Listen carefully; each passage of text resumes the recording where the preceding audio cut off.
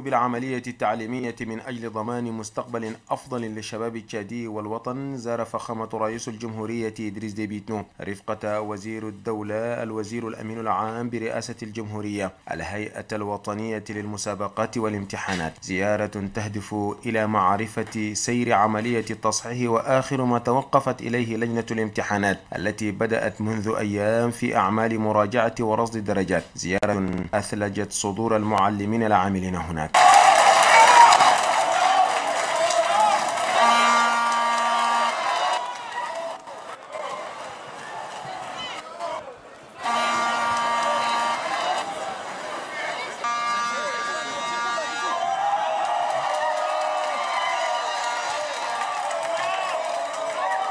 فخامة رئيس الجمهورية إدريس ديبي إتنو زار مختلف اللجان القائمة بتجميع النتائج لمعرفة النسب. العامة للنجاح في المواد الدراسية التي من المفترض أن تكون جاهزة الأيام المقبلة. فخامة رئيس الجمهورية إدريس ديبي إتنو وقبل استماعه للمسؤولين ألقى نظرة في الأوراق لمعرفة الدرجات التي تم رصدها محثا المعلمين والمسؤولين على هذا الواجب.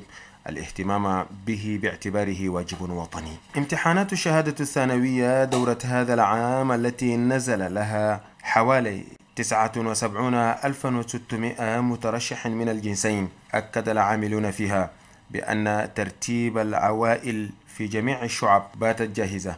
وانتقد فخامة رئيس الجمهورية إدريس ديبيتنو أثناء لقائه المعلمين الذين جاءوا للهيئة بهدف توثيق شهاداتهم عملية المراقبة التي تقوم بها المفتشية العامة في قطاع التعليم والتي تسببت في تأخير رواتب المعلمين لشهر يوليو. مشيرا فخامته بأن العملية اختير لها الحضور الشخصي للموظف وليست مراقبة التأكد من الشهادات.